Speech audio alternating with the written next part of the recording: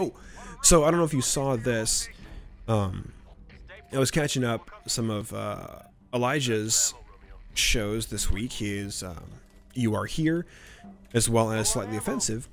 And he had on there, uh, I forget her first name, but it's she. She's uh, an ex, or I, I, shouldn't say ex because she does have a, an OnlyFans that she does post um, nude News. images of herself. But she's a, a porn star. Her last name is Lovia, and there was uh, they the first uh, show that I saw was You Are Here, so it was with Sydney, and they were just talking about the nature of, of the business and what's really happened uh, with it, and what what do they see as being um, good or bad about it, and how do we see that affecting our nation's youth, and I guess just people on the psychological spectrum as a whole, and uh, I I didn't watch much more of it because it seemed like there was too much of a glamorization of um, pornography.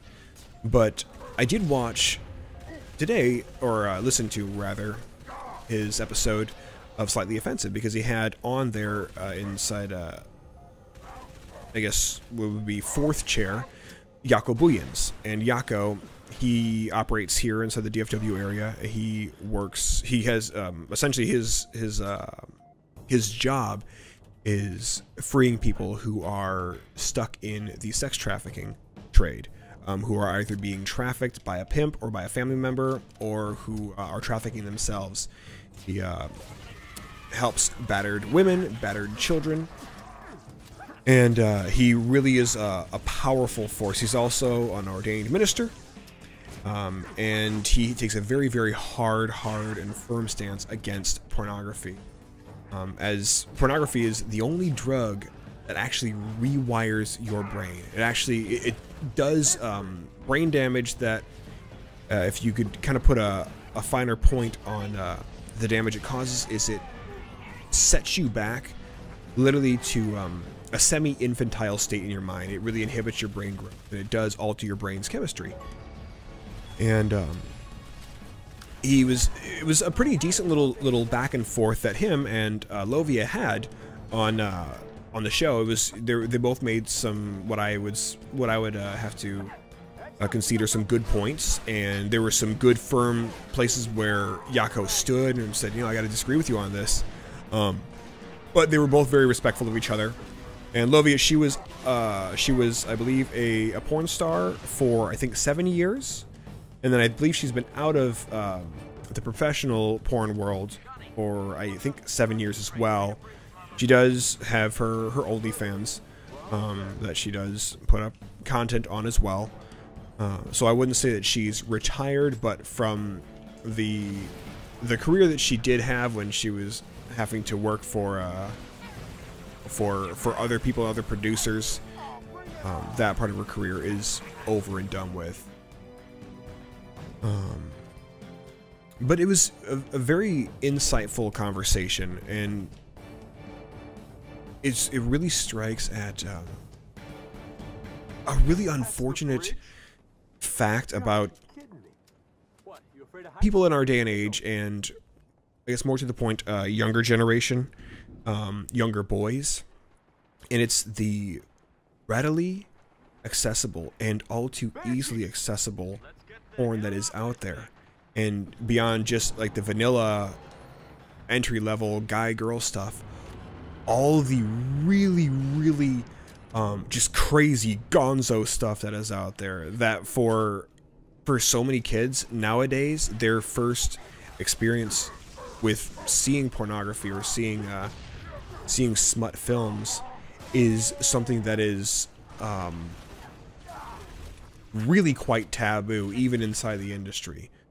Whether it be something, um, something of like of like a group nature or an abusive kind of video where this girl is, once the cameras are off, she's leaving black and blue.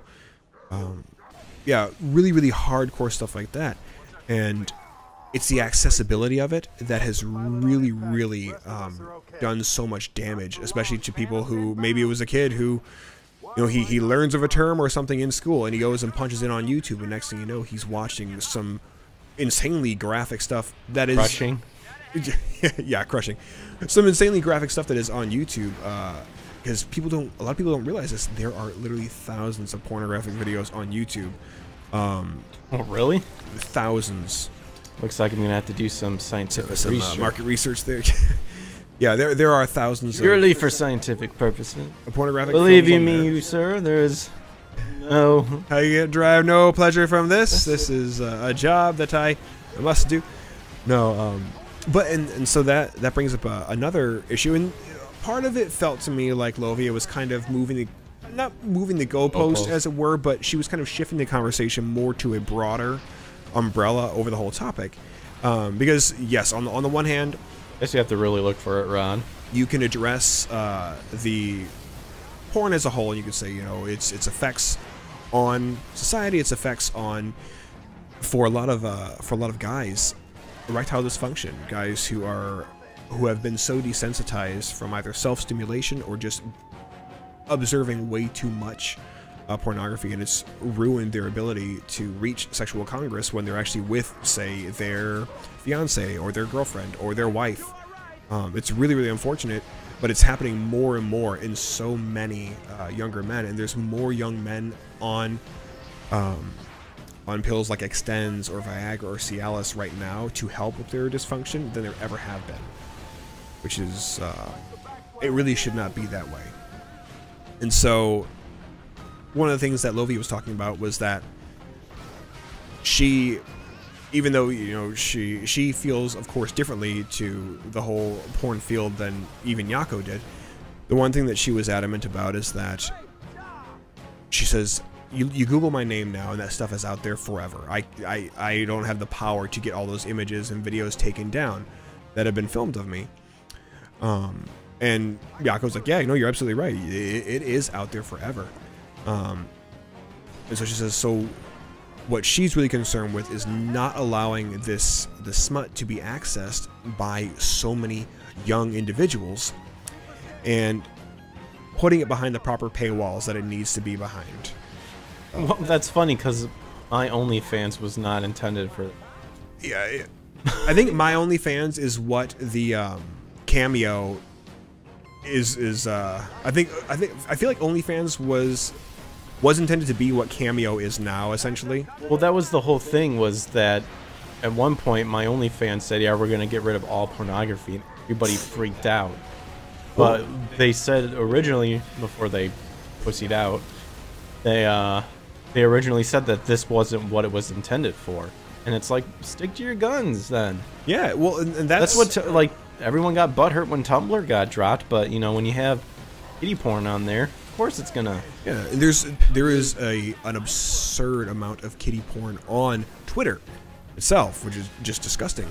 But um, and and Jaco was was able to sympathize with her on that and says, you know, I, I do agree. It's like you know this this is you know, essentially your job, and if it can be placed behind a paywall, he says, you know that uh, that 18 year old. Um, that 18 year old uh, age threshold he says i'm i'm fine you know like yeah yes that that's fine. He says i do i don't want kids getting a hold of this stuff. And more or less it came down to he says look we, we can address what this does to the human brain what this does to marriages or love lives. Um, but it seemed like the conversation was really kind of zeroed in on uh, disallowing access to kids who really should not see this stuff um, and should have it explained to them by their parents what actual real intimacy is. Um, Well, it's a lot of the stuff that that you know people get their kinks and that stuff off of different stuff, but with porn, there's not really. It's the false consent value because they're getting paid. But of course, the whole redacting, yeah, like okay, well, sort like of this thing. point of view stuff. It's this contrived, conceived intimacy. Yeah, and when yeah, when it's yeah, con- exactly, and oh, So hopefully parents are explaining it's like, look, man, humans get their gollies off in some weird way. Some of it, uh, yeah, that's actually a chemical thing that you do, sort of thing. well, also there's inside bit- what the fuck? That's crazy. So Strange. Yeah. I have to go tame some strange. So like in in the world of, of pornography, you have like I guess if you could lump it into two groups, there's the more actual like intimate kind of side of it, but then there's also the more performative side. And people look at that and they get an unrealistic expectation of what sex should be, what physical intimacy should be. And so many people they um because of that they're unable to either uh, enjoy sex with their partner to the fullest extent, you know, their wife or their husband, um, or they're unable to be aroused and in the moment and actually be able to, uh, to, uh, what's the word?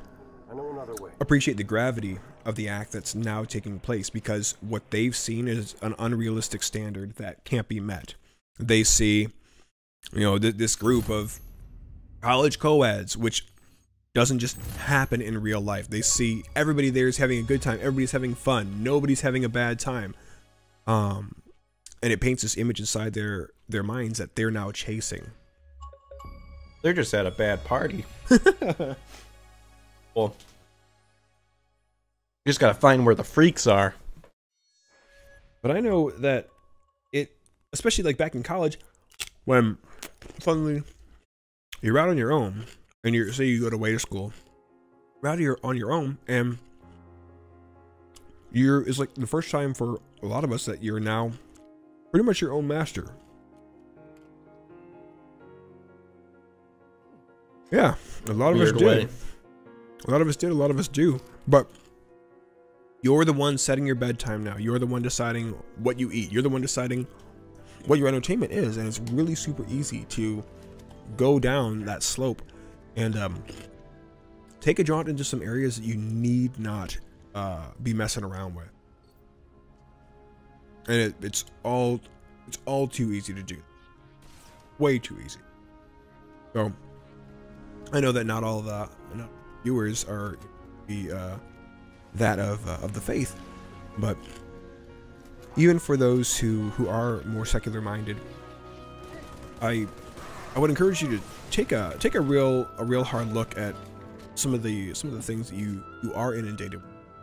Um and see what, what you really put stock into. See see where where inside your life you do find the desensitivities, whether it be to violence, like I mean, as, as we play this violent game, or it be to things of a sexual nature, or even drug or alcohol use. So while everything is permissible, not everything is mm-hmm. acceptable. And not everything should be acceptable. Whether it be for your own welfare or for somebody else.